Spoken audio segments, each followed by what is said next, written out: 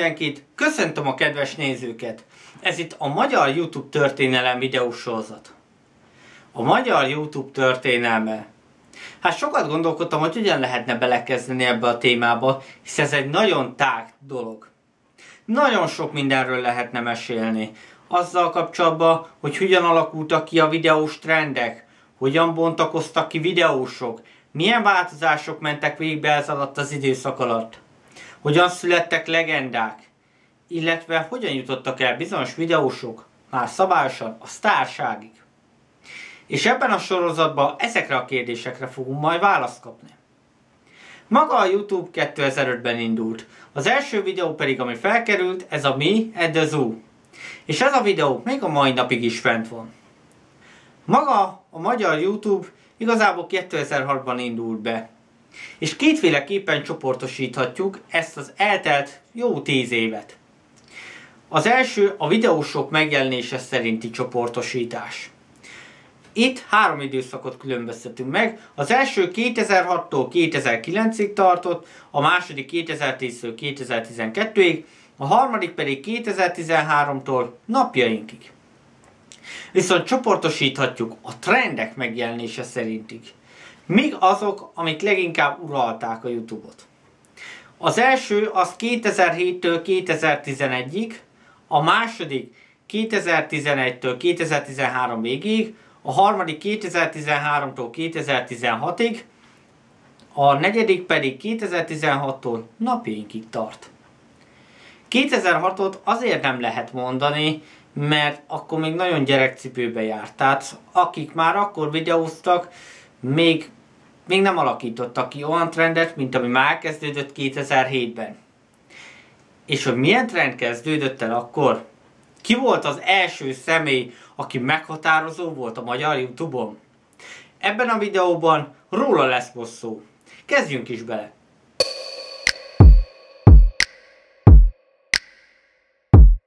...2007. április 16-a van. Hétfő.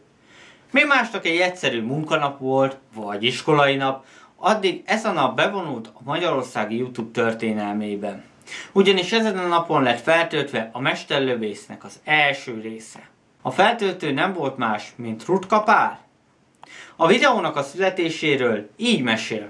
Ott még nem tudtam, hogy, hogy mi lesz ebből az egészből, nem is terveztem sorotot. Azért olyan unott a hangom, mert tényleg már untam, ideges voltam, akkor csináltam először ilyen hosszabb videót ez a tartalom teljesen ismeretlen volt addig Magyarországon, ugyanis nem voltak akkoriban még ilyen tartalmak. Amerikában természetesen már volt. James Raff például elkészítette az Angry Video Game Nerd sorozatát, és Freddy D, ahogy most már ismerjük, innen vette az inspirációt. És nyíltan, többször is kimondta már videóba, mennyire nagy hatással volt rá a munkássága. Az AVGN sorozat számomra az internetes szórakoztatás felülmúlhatatlan gyöngyszeme, azonban nem csak emiatt egy példakép számomra, hanem emberileg is nagyon inspirálónak tartom, Emellett élettársamat Freddy-nét sem ismertem volna meg rossz speciátok sorozat nélkül, ami meg a nerd nélkül nem született volna meg. Majd ezután következett a többi epizód is. És jött a Big Rix-nek a bemutatója, ami elhozta Freddy D-nek az igazi ismertséget. Ennek a videónak a nézettsége átlépte az 500 ezret, ami már akkoriban is óriási szám volt. Ráadásul rengeteg szállóige maradt meg, ami megmaradt a nézőbe. A zenét vagy a soundot Alex Burton csinálta, hát éppen szabadnapos lehetett szerintem, mivel egy hang nem kerül a játékban.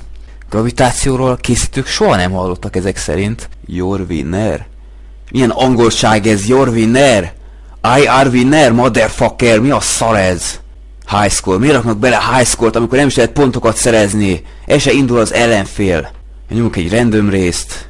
És már akkor jó winner vagyok, miatt egyáltalán elindul a verseny. A sikerek pedig nem maradtak el. Jött a GameStar-os interjú, a PC Guru, majd pedig következhetett a Fix TV-s interjú amiben megtudhatunk nagyon sok érdekességet a mesterről, valamint az egyik ismert beceneve is ehhez az adáshoz köthető. Tehát nekem egy blog oldalt ugye, amely hát a rosszpécijátékok.blog.hu oldalon található, ahol is egy, egy, hát mondhatjuk úgy, hogy egy ilyen játék kritizáló partizán tevékenykedik, különféle kisebb videókat rak föl, képeket gyűjt össze rossz PC játékokból. Nem, egy közösségi portálon akadtam rá a videóra, amit nem feltétlenül csak játékosok látogatnak, és pont ez volt az előnye a videónak. Hanem igazából tényleg egy véletlen volt az egész, hogy a, a testvéremnél láttam ezt a mesterlövész játékot, amit ő megvett, és um, utána kérdeztem, hogy milyen, hát mondta, hogy olyan, és kipróbáltam, láttam pár vicces jelenetet benne, és is fölvettem, és gondoltam, nem tudom neki utólag.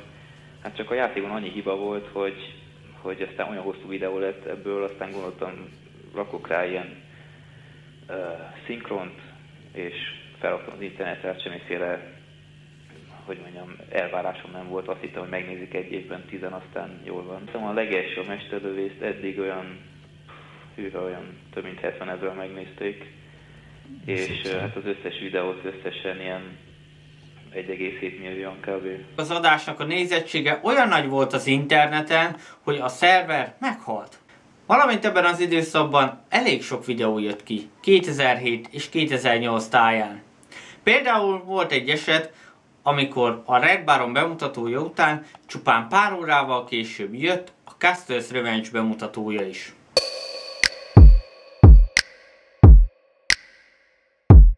Viszont a sikerek mellett voltak mélypontok is, és 2008-ban rögtön kettő ilyen is volt.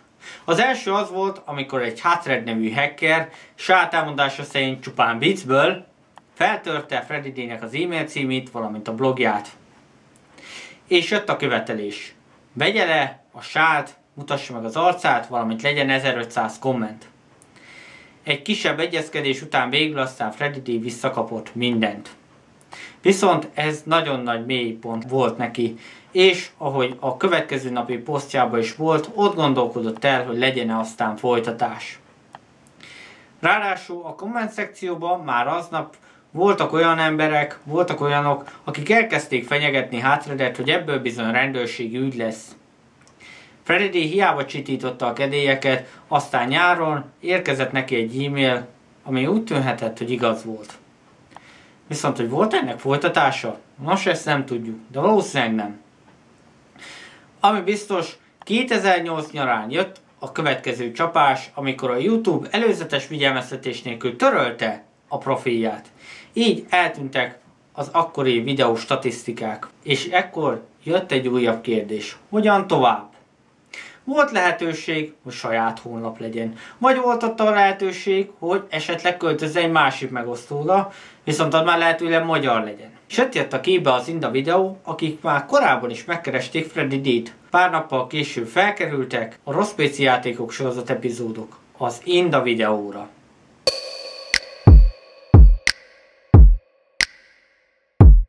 Freddy a nézőkre gyakorolt hatása tagadhatatlan. A nézői imádták őt, és rengeteg fanworköt kapott, amit ő előszeretettel posztolt is a blog oldalán. Ezek között voltak játékok, szinkronok. Látjátok, miket tudok? Gyakoroltam. Gyakoroltam, szemüveges gyerek. Valamint kapott zenét is. Nem egyet,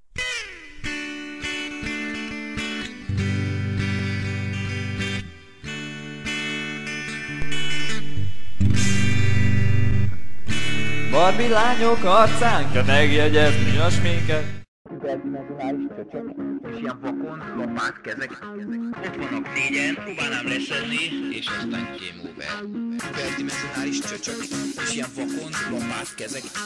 Ott vannak négyen, próbálnám leszenni, és aztán game over. Pár résznek elkészült az angol fordítása is.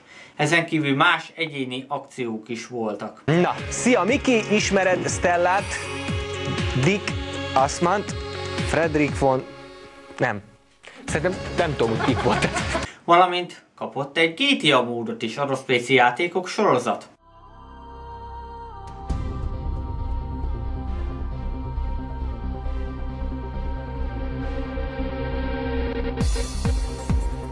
Viszont az egyik legérdekesebb dolog az volt, mikor az egyik beküldött ilyen borítót, maga a Blick is bekajálta, hogy valóban létezhet egy ilyen játék. Ez volt a Blick átverés.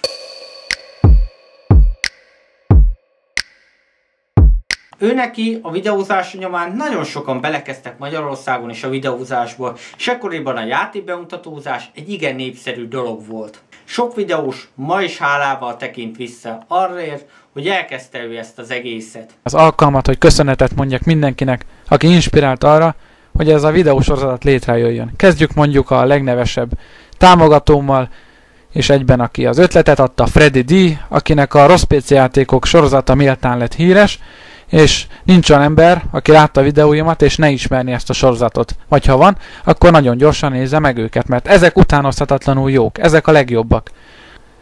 Nagyon hálás vagyok neki azért is, mert létrehozott egy Rossz PC Juniorok nevezetű mellékoldalt, ahol a videókészítők az ő oldalán kamatoztathatják a képességeiket. Mindenki imádta a videóit, és szerintem gyakorlatilag az egész, egész egy YouTube generációt indított el Rengeteg, ez, ő volt Magyarországon az első, ez, ez egyértelmű. És akikkel itt beszéltünk más youtuberekkel, mindenkire hatással volt. Freddy D volt a legelső, aki itt magyar nyelvű videósorozatot indított el, és én még egész korán ugye a második vagy harmadik videójánál találtam rá a rossz PC játékok sorozatra. Amit aztán én is úgy kezdtem el követni, hogy hú, mikor jön már ki új videó. Szerintem egy két éve mindenkinek ez volt az álma, hogy ilyen videókat csináljon, mert ugye Freddy Magyarországon is népszerűvé tette ezt a Angry Video Game Nerd által megalapított műfajt, úgyhogy természetesen Freddynek a példáját követtem.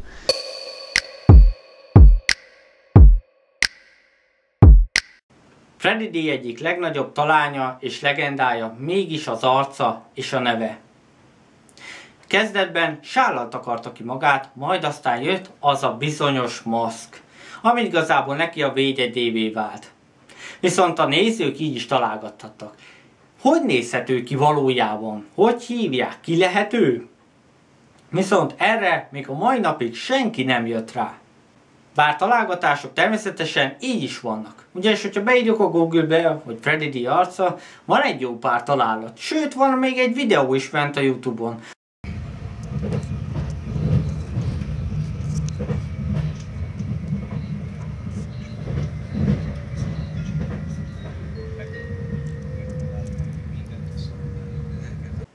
Freddy D elérte azt, teljesen elválaszta a videózást és a magánéletet. Az életéről így nagyon-nagyon keveset tudunk. Azt tudjuk, hogy amikor az Akimbo videót készítette, 25 éves volt, valamint hogy főiskolára járt. De ettől többet nem nagyon árult el.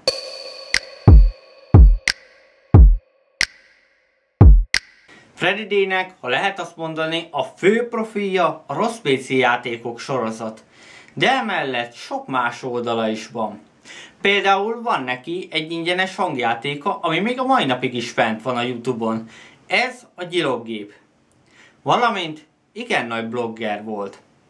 Több oldala is fent van, és még a mai napig is megtekinthető. Ilyen például a Rofű, ahol érdekes, színes dolgokat mutat be a nagyvilágból, a Limbiskit blog, vagy például ide lehet sorolni a korábban említett Rossz PC junioroknak az oldalát is. Valamint van a blogolkodom, az ő személyes blogja.